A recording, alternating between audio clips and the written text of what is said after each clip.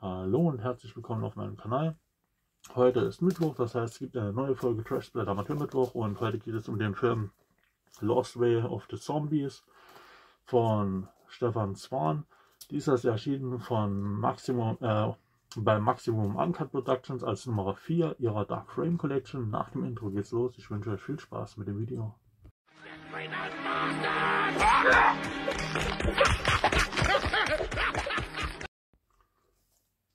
Willkommen zurück.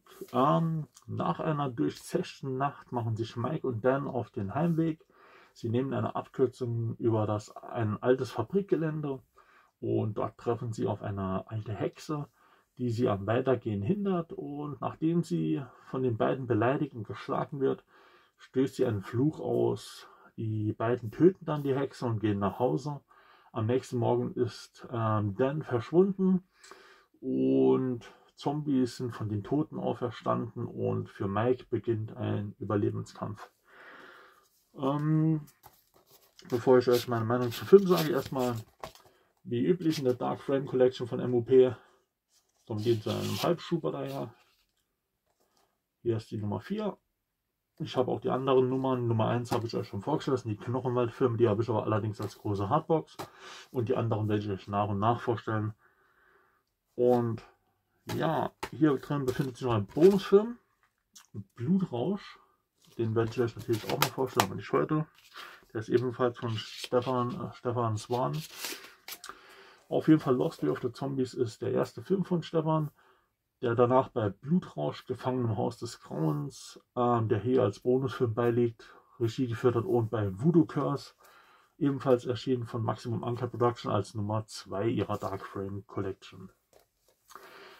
Ähm, auch war Stefan für einige Effekte bei Marcel Walz Filmen äh, verantwortlich, zum Beispiel bei Schlaraffenhaus oder Lapide Mord. Und ähm, bei Mike Utes Blätterfilm Die blutige Pranke der grausamen Bestie, Bestie hat er das Monster beigesteuert. Leider Gottes beging Swan im März 2024, also dieses Jahr, Selbstmord. Ich hätte gern noch viel mehr von ihm gesehen und sage mal Ruhe in Frieden tragisch auf jeden Fall. Vor allem für die Familie. Und ja, Lost Way of the Zombies ist für mich einer der besten deutschen Zombie-Filme. Die Zombie-Maske und das Make-up sind teilweise echt genial geworden und muss sich hinter einigen größeren Filmen absolut nicht verstecken. Das Einzige ist, dass das Bild ab und zu sehr dunkel ist, aber okay, das ist ja leider oft bei Amateursblätterfilmen so, wenn sie im Dunkeln drehen, aber okay.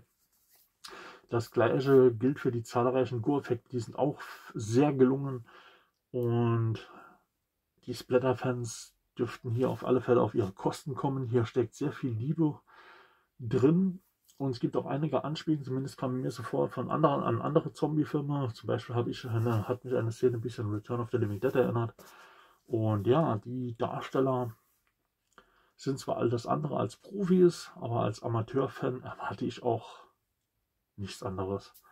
Ähm, man merkt, dass sie äh, Spaß an den Dreharbeiten hatten.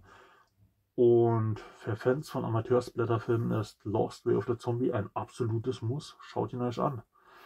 Wie gesagt, viel Gore, geil gemachte Gore-Effekte, einen hohen Bodycount gibt's und ja, es ist der erste Film von Stefan gewesen, ein, der erste Langfilm und für mich wirklich ein großartiger Film. Ich gebe dem Film 9 von 10 Punkten.